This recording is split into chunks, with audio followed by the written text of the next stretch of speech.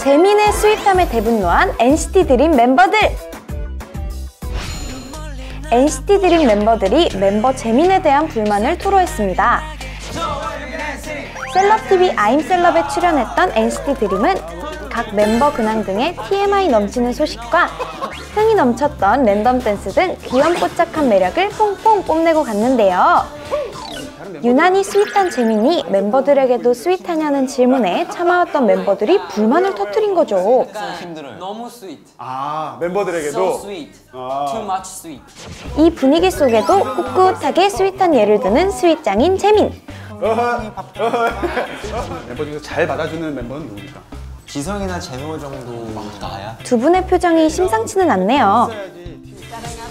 이 세상을 녹여버릴 듯한 재민과 NCT 드림 멤버들의 달콤했던 I'm Celuv NCT 드림 편. 지금 바로 셀럽 TV에서 확인하시길 바랄게요.